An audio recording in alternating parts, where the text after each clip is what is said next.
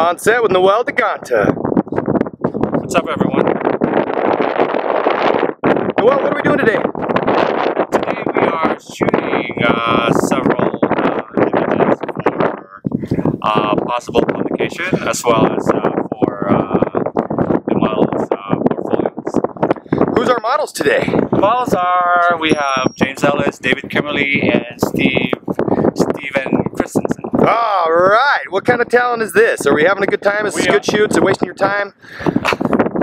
We are in a very, very, very hot desert area, which is called El Mirage, uh, but it's worth it. Um, it's beautiful in here, but right now it's about 110 degrees. It's kind of uncomfortable, but kind of. good. It's good. I mean, it's worth it. Um, uh, we'll be shooting, you know, several images, uh, hopefully for publication as well, uh, which is, you know, not a lot of publication, you know, shoot in the desert, and Right uh, you know, there's something new for for me, for for me, and you know, possibly for the magazines as well. How many covers you get, buddy? How many covers we have so far?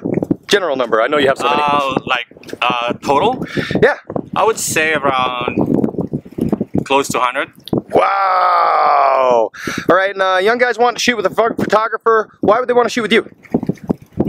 I know Um, why. Well, you know, uh, I don't want to say that I'm better than any photographer. Uh, I'm just saying, um, what, what, you know, what I want to say is that, you know, before you, you, you should know what you want to do, uh, uh, how you come across, and you know, um, know your brand, and you choose your photographer according to that. Um, All right. You know, there's uh, there's photographers that specialize. If you're a girl, uh, in glam, in bikini, and uh, in you know a straight commercial or fitness, and that's my kind of style of photography. So I would say know what your purpose is first, or know what what you what you want out of it, and then you choose the right photographer. And if you want something that's commercial, magazine friendly, fitness shots, then you know I could give that to you. Where we find you, Daganta?